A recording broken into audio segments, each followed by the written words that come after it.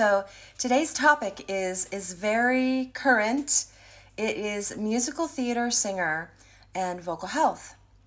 So yeah, things are opening. People are getting cast, which is so exciting, and we're all super excited to go and be supportive audiences.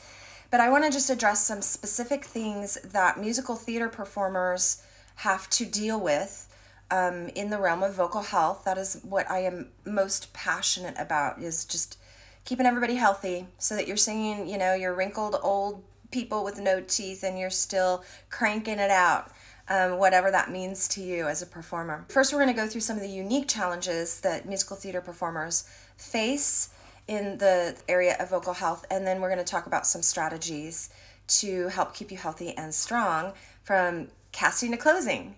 So, the, the first thing we're going to talk about is just the frequency of performances.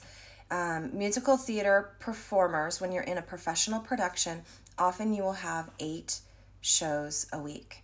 You may only have one day off a week. You may be dark only on Mondays. In the very, very large productions on Broadway and the tours, they will have an understudy for you. But if you're doing a regional production, a non union tour sometimes, putting in the understudy is a last resort it's not something that's to be expected as part of the rotation. So there's there's this underlying fear a lot of times around understudies that if you ask to have the night off that the management is maybe going to see think of you as being weak or being a prima donna or what would happen if they put the understudy in and then maybe they like the understudy better than you. Maybe they'll they'll replace you. These are real fears that people have. Um, so a lot of times people will end up going on and pushing through when maybe it's not in their best interest to do that. Maybe they're already really limping vocally. Maybe they're even sick. And singing sick is a, a really dangerous um, proposition for your vocal health it's one of the quickest and easiest ways to hurt yourself vocally. Um, and there's that's there's a lot of work to still be done in that area of of really normalizing an understudy situation. And um, there's a reason why they're there. And we want to be able to self-protect and do what's right for the person so that they can continue to fulfill their contract instead of being afraid to call out so that's that's one consideration so, yeah, musical theater performers off the bat have to do more shows a week than if you're in a summer stock situation like my student that I was telling you about. Now that they have the first show up, they perform at night and then they rehearse the second show during the day.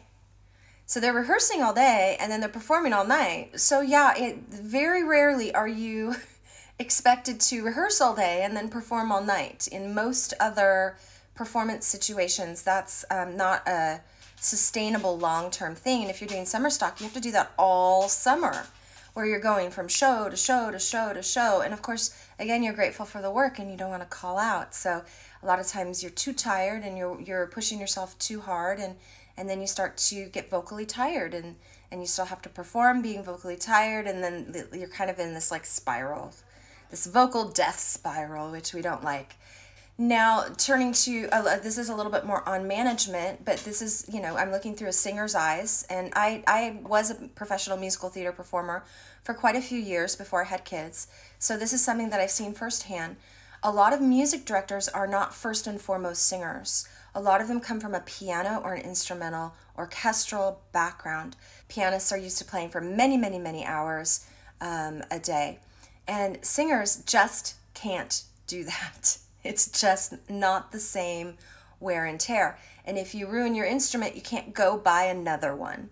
So, a lot of times they really truly don't understand the limitations that we have as singers in our organic instrument.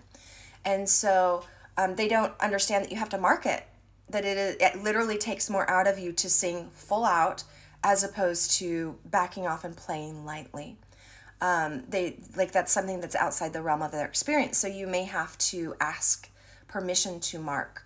Um, I usually advocate mark when you need to, and then ask forgiveness instead of permission. If they're like, "Why are you marking?" Then you might have to have a conversation, a private conversation with the music director to um, help them understand what your um, boundaries are, what your healthy boundaries are. And it's it is not normal to sing hard for two hours. It is that is not something that is a reasonable expectation. Um, you should be able to back off. You know, every few if you sing hard for five minutes, you should have a little little downtime after that. It's not go again, go again, go again, go again, over and over again, uh, over and over and over again with the high, loud, intense singing. Um, so that's something that you that need to be considered. Um, non-union shows don't have the same protections as union shows. Union shows you are guaranteed breaks after a certain amount of time, and they are non-negotiable. The the theater has to, the management has to follow those union rules. If you are in a non union production, they don't have the same guidelines. A lot of them will still offer union schedules for breaks. If they don't, um, you may have to advocate for yourself or again ask, you know, talk to your music director on the side and just say, I understand we have these longer rehearsals. Um, let, can we work together to make sure that you know that we're maintaining our vocal health. And this again then gets into that scary land of you don't want to make a reputation for yourself of being somebody that's difficult to work with or um, is a prima donna. Um, these are basic um, self-care guidelines that are not unreasonable. So hopefully more and more the non-union um, houses will also be able to help help you advocate and feel safe advocating for yourself. So you rehearse, you open, yay! We're open. That wonderful rush of we just did this amazing thing. The audience loves us.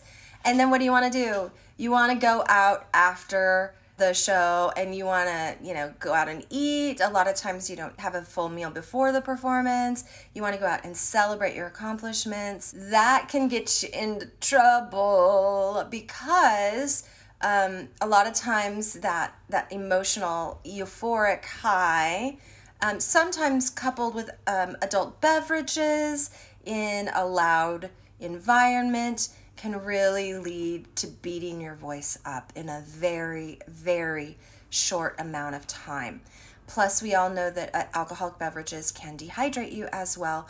So we want to be super super careful about that especially tech week because I don't know anybody that doesn't um, by the time opening night gets to them, like they're tired. So you want to really be careful and limit that um, celebration on opening night. Tech Week, long hours. They, they do these things called 10 out of 12 where you have to be at the theater 10 out of 12 hours. That's a long day, friend. But you move into now this new environment. Theaters are always dusty so you're on the stage, everybody's sneezing. It's like dust bunnies everywhere. It's just, it comes with the territory, right? Most theaters do not have air filtration the way it should be. Hopefully, now post COVID, they've changed that. That would be really, really cool, right? Um, and I, I have yet to hear from people to know if that is actually true or not, if they've upgraded the ventilation. But most theaters are older and so they they just tend to be dusty. Um, talking about tours, so when you go on tour, there's lots of considerations that you have to take into account that can affect your vocal health. There's climate change. Um, if you're going uh, from Florida to Utah, that's going to be a little shock to your system because of the difference in humidity and um, temperature sometimes. Also, um, just like the altitude, will it all will affect your um, mucous membranes and therefore your vocal health. Um, even sometimes if you're traveling overseas, you have to account for diet, whether or not the water is drinkable. Um, you know, just being able to maintain basic hydration is is sometimes a challenge when you're on tour. The last little thing, and this isn't quite as big of a deal for musical theater. Once you get onto a stage, there's stage noise that you're singing over an orchestra.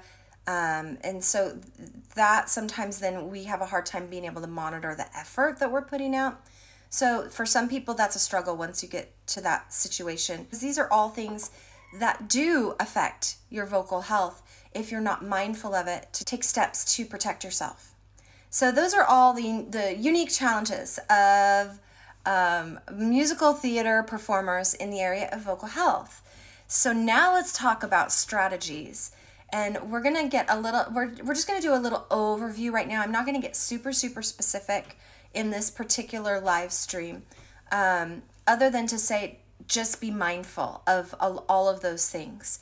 And if you stick to these basic strategies, probably you're to be in, in pretty good shape. You might need some help in specific areas, but this should help you. So, number one, you're going to monitor your hydration. I know we harp on you all the time. A well hydrated singer is going to be a healthier singer. If you are dehydrated, it is the quickest, easiest way to a vocal injury. So, hydrate, hydrate, hydrate. Uh, if you can, limit your after hours socializing.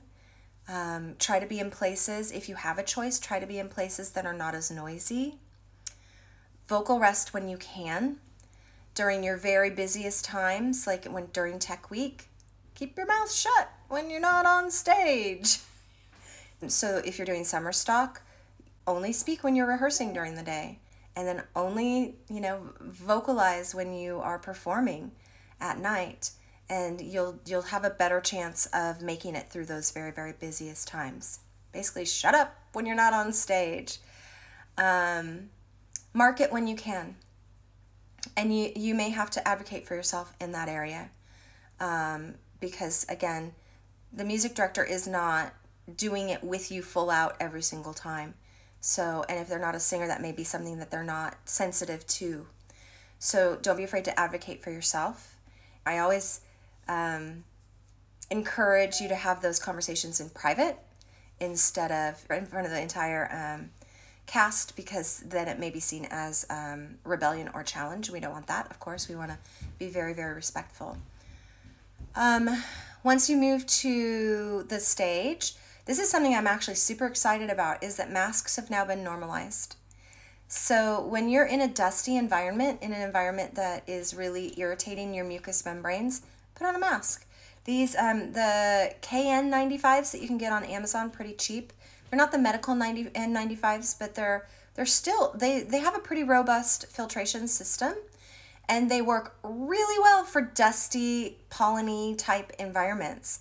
So if you're struggling with your allergies because all of a sudden you're in the middle of a cornfield in Kansas, um, performing or Nebraska, or if you are, you know, in Utah and it's super, super dusty, wear a mask. And um, that's been normalized now, which is, I think, a very, very welcome thing. Invest in a good steamer, and I really, really recommend invest in a good nebulizer. Nebulizers are going to really help with your your direct hydration within the vocal folds themselves. Steamers will help just kind of make sure your throat is moist, but they're not actually penetrating into the tissues. The nebulizer can keep the vocal folds themselves um, hydrated. So um, I really recommend, especially if you're on a tour, that you invest in a nebulizer. The one that I use and recommend is my uh, Vocal Mist, and I will drop an affiliate link in the chat um, so that you can, if you want to try it out and you want to invest in it, you can do that. Um, but that will make a huge difference for you. During Tech Week, it is extra important to hydrate, however and whenever you can. And then the last thing is constantly monitor your effort. When we get excited, we usually amp up our, our effort. When we get in front of an orchestra, we usually ramp up our effort. And oftentimes we'll cross the threshold into trying too hard, and then that will get us into trouble, especially long term. So, those are some guidelines. This is just an overview in this one particular field of specific challenges faced by musical theater performers and just some really, really brief techniques to help you stay healthy um, from casting to closing. If you're just joining me, you're probably wondering who I am, I'm Crystal Barron. I am a vocal coach and vocal health professional, and I was a musical theater performer um, before I had children for many, many years, and music director as well. And so I'm speaking um, from experience. I also experienced many, many vocal injuries um, throughout my career, which is part of my story and why I'm such an advocate for vocal health. And that's what I have for you guys today. Thank you so much for joining me and hope to see you guys soon. Bye.